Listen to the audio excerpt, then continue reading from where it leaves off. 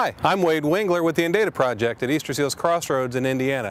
Look at this beautiful day. We are so excited to be doing an adaptive vehicle expo here at Easter Seals Crossroads. So this is not your typical tech tip. The tent behind me is where we have some of the most cutting edge adaptive vehicles for people with disabilities to be found the first time all gathered together here in the state of Indiana. So we're going to spend a little time going and checking out some of these vehicles, meeting some of the drivers, and learning about the state of the art when it comes to adaptive driving. So let's go check this out.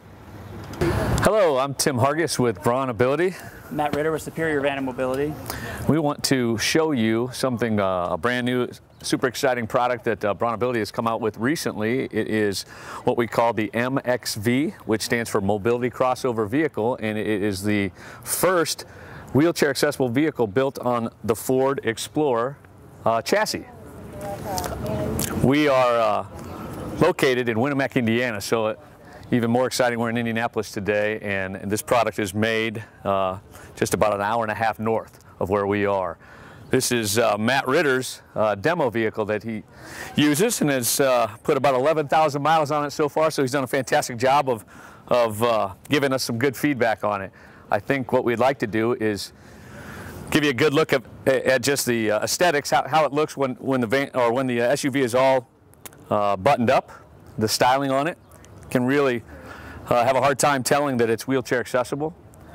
But why don't we go ahead and uh, open it up? Do you have the key fob on you, Matt? Got the key fob. Let's show these folks how the door opens and how the ramp, the in-floor ramp system deploys. So what we'll do is we'll hit the button on the original Ford key three times. and That will make the ramp, uh, the door open, the ramp deploy, and also you'll notice that the SUV is starting to lower down. That's called the kneel system. Uh, that just reduces the degree of angle, so whoever's getting in and out of the vehicle, it's easier for them to push up uh, or come down. So I'll do that now. A lot of engineering went into opening that door. We're pretty proud of it, and as you can see, the, the ramp as it deploys out, has it's illuminated, which is fantastic for a, a feature in the evening to really showcase that ramp at, at night and, and provide visibility. So it is, the ramp will support 800 pounds. It's uh, powder coated aluminum, and it is an in-floor system, so it stows underneath the floor as you just saw. Um, it's a little over 28 inches wide. So why don't we go ahead and show Matt entering up into the MXV.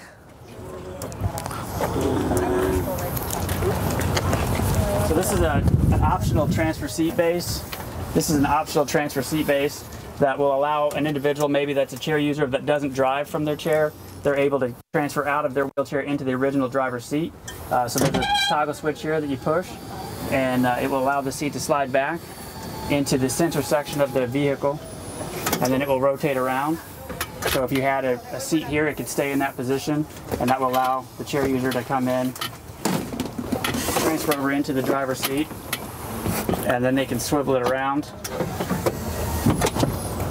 and put it back in the driver position, and they'll slide forward up under the wheel so they can drive the vehicle itself.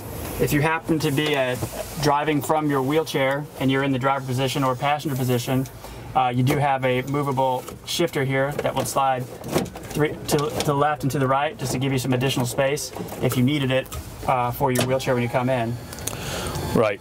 We tried to uh, optimize the space, uh, our Braun Engineering, with uh, basically working with the space, the interior space that Ford gave us. So we tried to manufacture and find an inch here or an inch there, and that's why we modified that gear shifter to have it slide uh, as well as we have modified the backs of the seat bases to allow the uh, wheelchair users' feet on the foot pegs to slide underneath. So again, just trying to optimize the interior space that we have.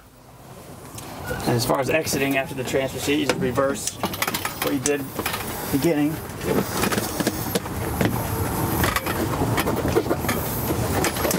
And then the seat will swivel around and slide back up into that position.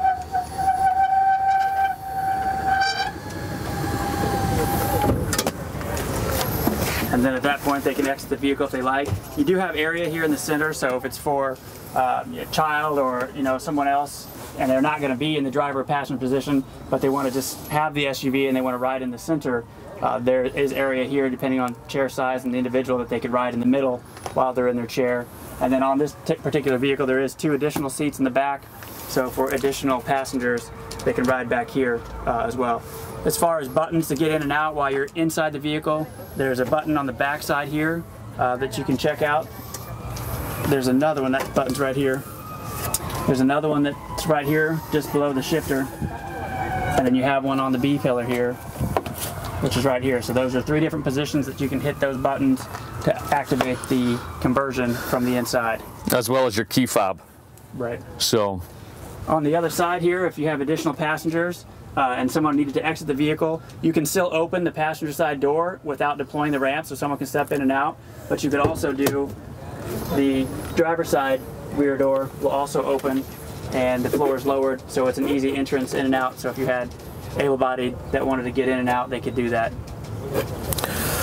Once you come out, Matt, and let's, uh, I'm glad you just brought that up. Let's show them how the door opens without the ramp coming out for that feature.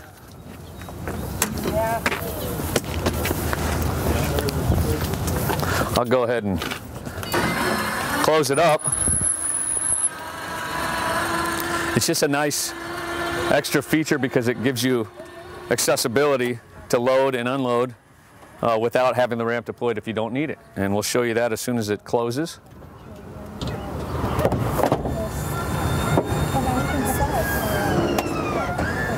Okay, so all you do is simply come up and pull on the handle.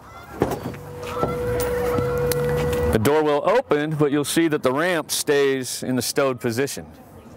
So again, just another option and an easy way to, to load and unload.